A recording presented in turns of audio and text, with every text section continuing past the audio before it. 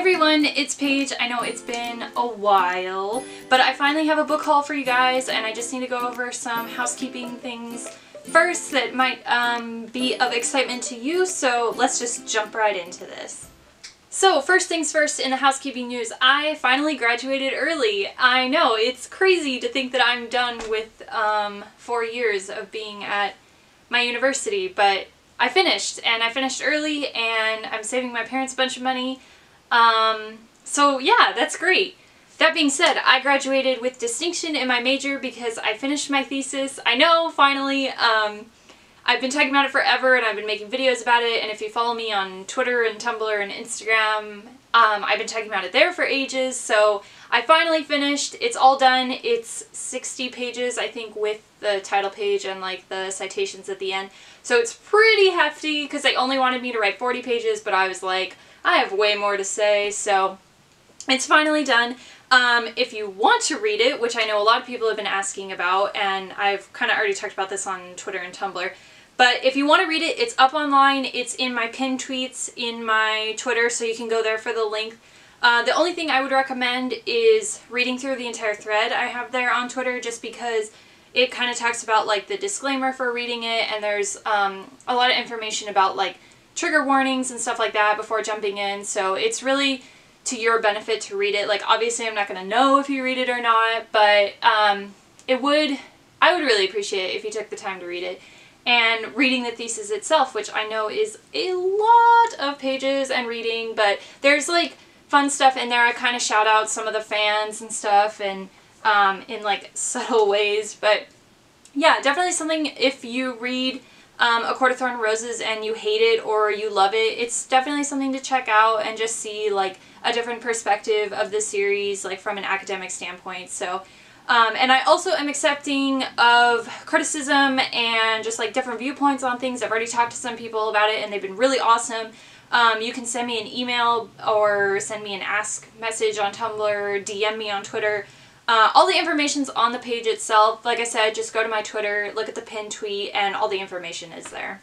So the second housekeeping thing is um, another reason why I kind of haven't been around much, and that's because after I was done in March with school, I came home for two weeks and then I went off to London for two and a half weeks. So I was um, there for the first two and a half weeks of April, just kind of exploring the city and like doing my Beatles shindig and everything. So um, that was a lot of fun, and I'm going to have a huge, huge post on uh, my blog eventually as soon as I write it and take the time to upload all my photos and everything and I have um, some like videos and stuff but if you want to look at some of my pictures you can already check out my Instagram obviously. I posted some stuff on Twitter. Um, I'll leave a link to my personal Tumblr below which has a lot more photos um, than anywhere else that I posted so you can check those out too. Um, but yeah it, I loved London. I now like want to live there so it's it's a great city. Like if you have the opportunity to go, I would definitely say go.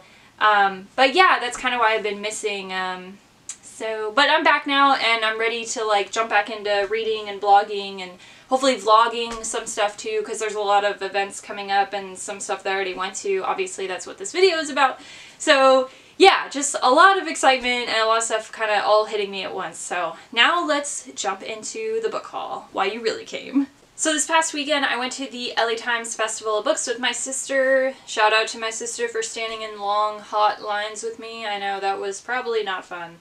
But anyway, so we we took the LA Times Book Festival of Books by storm. We went Saturday and Sunday. We were originally only going to go one day, but we had so much fun the first day, we were like, no, we have to go back the second day. So we went, um, we went and talked to a lot of authors. I got a ton of books signed that I'm not going to um, show in this video just because I think that would be kind of boring and I have a link down below for a picture of all the ones I got signed so you can check it out there. But thank you to all the authors that showed up. You were awesome. It was great talking to all of you. Um, really, I can't thank authors enough for doing what they do, so thank you. I have to thank Chuck Palahniuk for supplying the hands. Um, yeah, they're super creepy, but he signed all of them and he handed them out during his talk. Um, and I've named mine Henry VIII because nobody likes him and wants him around apparently. Allie. But um, yeah, so Uh, I've just been putting him on my bookshelf, and I think he's going to make some subtle appearances into some of my Bookstagram pictures, but yeah, this was really cool. It was a fun little, like, swag item, so if you're into that kind of thing, I guess. There's a pretty big stack that I have over here that you can't see, so let's jump right in. So I got an email from First in Line before the book festival to come by the booth so that you could pick up an arc of your choice.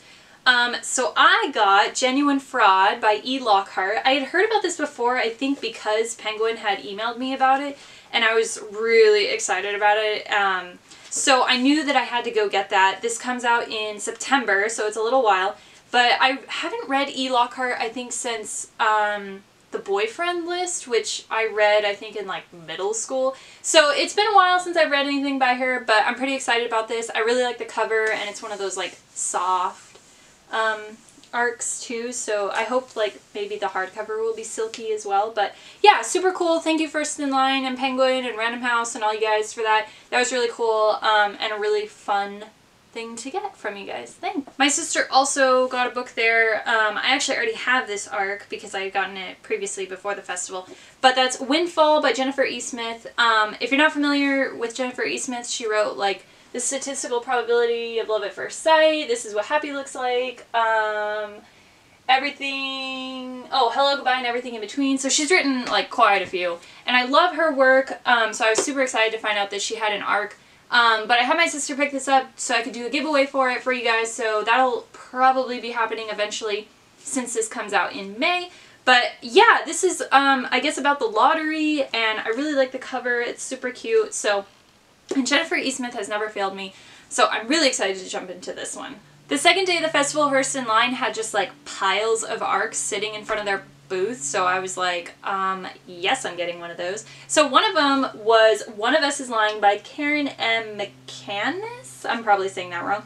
But this one comes out on May 30th, and I have no idea what it's about, so I'm hoping that I'll be excited for this. I'm sure I will, but this was super cool for them to be handing out, so thank you very much, First in Line, Penguin, Random House, all you guys. That was pretty awesome. And then the other book that they were handing out was Little Monsters by Kara Thomas. Apparently she also wrote The Darkest Corners, which I've seen the cover of, but I've never read. Um, yeah, but I really like this cover. Um, and this one comes out in July, so it's a little bit later release, so I'll probably pick this up some other time after I get through some of my May releases that I really need to get on. But yeah, thank you. Penguin was handing out books all day at their Young Readers booth and I accidentally missed one of the ARC drops because I had gone to this signing. I think it was the Chuck Palahniuk one and it was taking forever. So Allie um, was kind enough, I'll link her down below because she's awesome and I met her there and everything and she was great. Hi Allie! And she's going to be at uh, YALLWest next week. So yeah, that's super cool. But anyway, she picked up um, The One Memory of Flora Banks for me by Emily Barr because I wasn't able to get it myself and I just love this cover. It's so shimmery. Um, I don't know a lot about this either. All the back says is it's not a lie if you can't remember the truth. Ooh, spooky. Um, but this comes out in May. I'm not exactly sure when because like I said, I don't know anything about this. But yeah, very excited just based on the cover alone because it's ooh, shimmery. Another book that I got from Penguin Young Readers, Random House. I never know what the division name is. Anyway, they were handing out copies of Spellbook of the Lost and Found by Oh, I'm going to butcher this name. Moira Fowley Doyle. She wrote The Accident Season, which I haven't read. Um, this one comes out in August, so again, it's a little bit later release um, that I'll have time to finally get to. But again, I have no idea what it's about. Um, but the cover is pretty stunning, so I like that. Um, and it's pretty thick too, so yeah, pretty excited for this.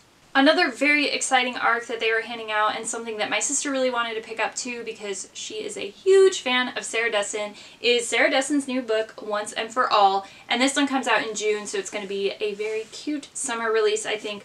I really like this cover. I like the color scheme here. Um, but I've heard pretty good things about this, I think, so far. I actually don't really hear much bad things about um, Sarah Dessen's work, so um, I haven't read anything by Sarah Dessen, I think, God, probably since middle school or high school, so it's been a long time. So I'm kind of excited to pick up something by her again since it's been so long.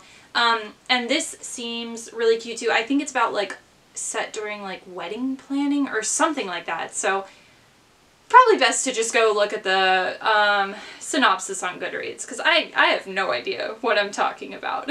And then the last one that we got from Penguin, which I was so excited about, is Warcross by Marie Lu. Um, she also signed them all for us, so that was super sweet of her.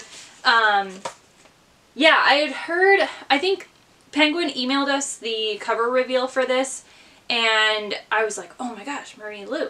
Even though I haven't read anything by her, I'm very excited for this book. So um, this one comes out in September, another one that's going to be a while, so in the fall. Um, but I'm very excited to jump in. I've heard like pretty much only good things about Marie Lu's work. Um, so yeah, that's that was super awesome of them. Thank you, Penguin. Um, you were very awesome booth to hang out in anyway. Like we picked up a bunch of swag and samplers and stuff that I'll probably be giving away. We got some totes. Like they were just awesome. So thank you very much. So the last arc that I got was uh, I Believe in a Thing Called Love by Maureen Goo. She was there signing copies of her other book, which I don't know the name of, but she had copies of these and was giving them out. Um, and this one comes out in May, so she was kind enough to sign this one for us too, and I picked up a copy for Allie because I knew she wanted one. So that was awesome. Um, yeah, so thank you, Maureen. Um, that was very nice of you, and I cannot wait to jump into this one because it sounds so cool, and I love this cover, and I'm just I'm so excited, so thank you. At the end of the day on Sunday, we were walking out of the festival and first in line was handing out their display copies for free. So we ran over and grabbed Reawakened by Colleen Houck, Houck, um, which I just love this cover. But that was super sweet of them to be handing these out. And then they also gave out Blood Rose Rebellion by Rosalind Eves. Eves? Um, and I think this one just came out, right? I don't know why I'm expecting a response because you're sitting behind a computer. Anyway, so yeah, that was super cool of them to hand these out. Um, I'm going to probably keep the stickers on these because that's really cool. But yeah, thank you First in Line. And then we also got like boatloads of swag as you can tell and I'll probably be doing some sort of giveaway. Um, we got pins, we got samplers, we got more samplers, um, tattoos, like just tons of stuff, bookmarks, so yeah, that's all that stuff. And then we also got um, free tote bags from Penguin, like I said earlier, because if you weren't signed up for their newsletter, you could get signed up and get a free tote bag. So that's the back. And then um, the other side is just a quote from Marie Lu's The Young Elites, which I haven't read yet. Um, but yeah, these are really awesome, and I really like this side because it's like very bookstagram worthy. So that was very nice of them and I just wanted to thank all of the publishers, authors, USC, the LA Times for even putting on the event. Um, we had a blast. I can't wait to go again next year. It had been a while since I had been there, so it was really a lot of fun. So thank you, and thank you for sticking around for the video. Um, yeah, I hope you enjoyed this book haul, and hopefully I will see you again soon. Bye. Um, and it is, uh, no, I'm gonna start over. Um, in, back in, well, I haven't gone to this, uh, I feel like, no, I need to start this over.